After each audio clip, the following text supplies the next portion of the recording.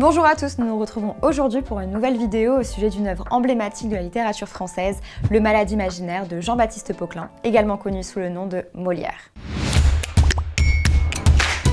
Joué pour la première fois en 1673, Le Malade imaginaire est une pièce comique qui est à l'origine une comédie-ballet, dont la musique a été composée par Jean-Baptiste Charpentier. Cette pièce est inspirée de la vie de Molière lui-même, puisqu'environ dix ans avant son écriture, il a été touché par de graves soucis de santé, et notamment une faiblesse pulmonaire, qui l'a amené à consulter de nombreux médecins, qu'il a ensuite voulu tourner en ridicule dans cette pièce. Passons maintenant au résumé du Malade imaginaire.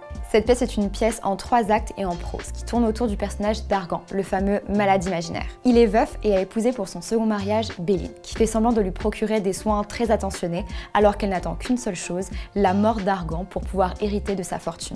Argan est ce que l'on pourrait qualifier aujourd'hui d'hypochondriaque. Il a recours à des saignées à des purges et il ingurgite toutes sortes de remèdes afin de voir sa santé s'améliorer. Pour le tromper, Toinette, sa servante, se déguise en médecin et lui prodigue toutes sortes de conseils, tous plus moqueurs les uns que les autres envers la profession de médecin. Angélique, la fille d'Argan, est amoureuse de Cléante. Afin de tirer d'affaire Angélique et Cléante, Toinette, la servante d'Argan, le fait passer pour mort. Lorsque Toinette prévient Béline de la mort de son mari, cette dernière est aux anges. Elle est très contente de s'être enfin débarrassée d'Argan. Angélique, quant à elle, est très peinée par cette situation et manifeste un chagrin très sincère, ce qui rassure donc Argan et qui accepte son union avec euh, Cléante, à condition que ce dernier devienne médecin. Bérald, le frère d'Argan, lui conseille à son tour de devenir médecin, ce qui mène à une fin burlesque de la pièce, à savoir l'intronisation du malade imaginaire comme médecin lui-même. Argan, le personnage principal de cette pièce, se situe au carrefour de trois tendances opposées à savoir l'hypocrisie et les intérêts personnels, l'hypocrisie et les intérêts professionnels, et enfin, pour finir, la sincérité et le bon sens. Ensuite, pour ce qui est de l'analyse du malade imaginaire, il est important de revenir sur plusieurs points.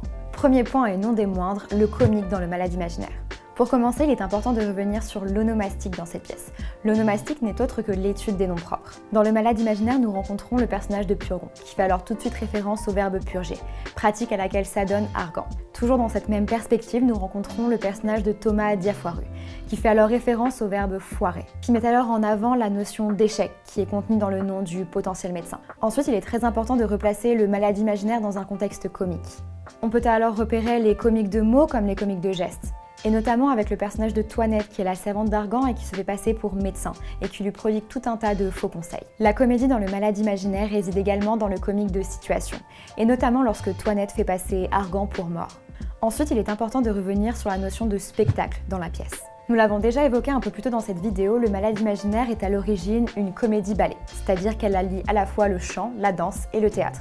Il s'agit d'une forme qui est très appréciée par Louis XIV et sa cour. Le malade imaginaire est alors un spectacle sur tous les plans, qui allie à la fois stimulation auditive et stimulation visuelle. Par ailleurs, il est très important de noter la mise en abîme dans cette œuvre. Il y a une pièce dans la pièce, et ce notamment avec les interventions de Toinette, car elle orchestre un certain nombre de situations toutes plus loufoques les unes que les autres. Notamment le moment où elle simule la mort d'Argan.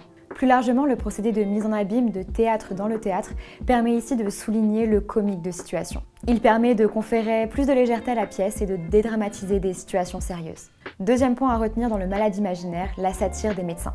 En effet, la pièce se moque des bourgeois naïfs et hypochondriaques comme Argan, qui sont prêts à tout croire de leur médecin. Le médecin est alors un peu l'équivalent d'un dieu pour Argan, pour lequel on finit par avoir un peu pitié finalement. Le médecin est alors présenté comme une personne sadique qui se plaît à tourmenter le personnage principal.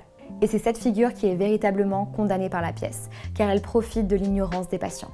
Et en même temps, il est également reproché aux médecins leur manque de connaissances et de compétences en règle générale.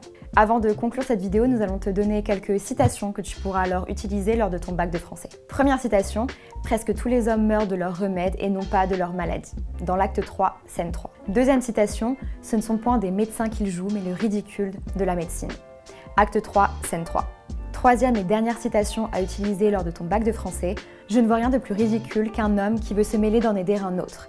Acte 2, scène 3. Et voilà, j'espère que cette vidéo t'aura été utile et que tu auras appris plein de choses sur le malade imaginaire. N'hésite pas à te rendre sur notre site internet Up to School pour consulter nos ressources pour le bac de français. Si tu veux plus d'informations sur les œuvres au programme du baccalauréat de français 2022, n'hésite pas à t'abonner à notre chaîne YouTube.